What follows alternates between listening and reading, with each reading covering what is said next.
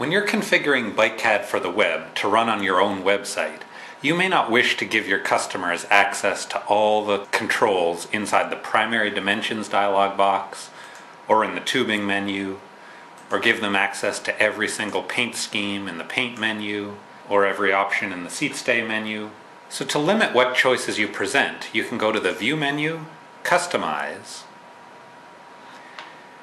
and scroll down to where we first of all have a list of all the menus that appear in the top of BikeCAD. You can scroll through these, either check on or check off certain menu options that you may or may not want. Reading further along, if you'd like to provide a link for your customers to email their designs to you, you can put the text for that link here, and you can put the address which you'd like those emails to be sent here.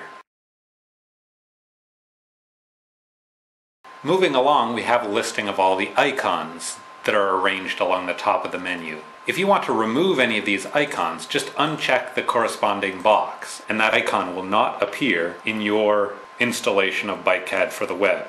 All those icons across the top are then also listed in these tabs. The ones that you've unchecked will be grayed out. The remaining options will be accessible, and the controls that exist inside each of their corresponding dialog boxes appear here. So you can turn on or off any control that you may or may not want to appear in your dialog box. So just as an example, I'll disable the controls relating to seat angle, bottom bracket height, and head angle. Moving down the page, we also have a control for all the dimensions in the dimensions dialog box.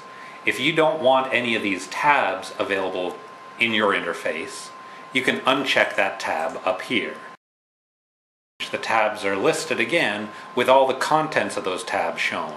And you can disable any dimension that you don't want to appear in your menu. So this is useful for BikeCAD for the web.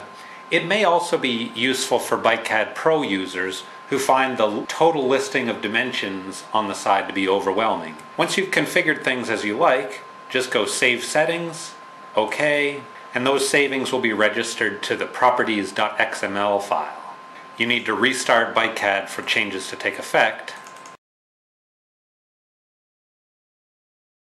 And when they do, you see that the, the seat angle, head angle, and bottom bracket height are missing from the primary dimensions dialog box as we've requested. The icons that we disabled are also not present. So that's how you customize the interface for BikeCAD Pro and or BikeCAD for the web.